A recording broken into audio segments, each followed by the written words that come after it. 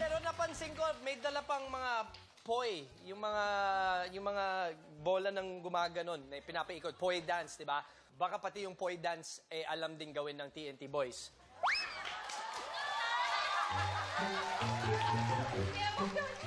TNT Boys, marunong ba kayo mag-poi dance?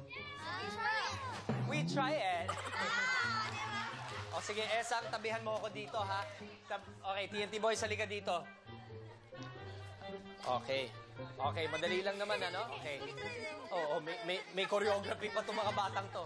O sige. Ba, ikaw talaga bida, ha?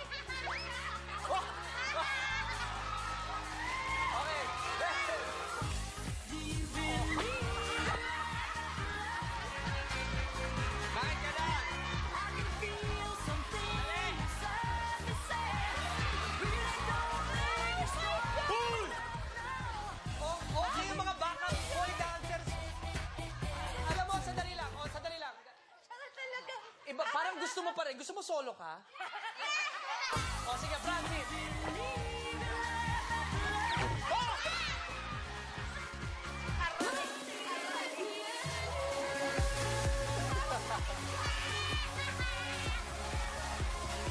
Palakpakan naman natin, TNT Boys.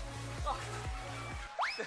Ito mga to, maupo na nga kayo kung saan pa mapunta yung mga usapan natin dito. Pero ikaw ang star ngayong gabi.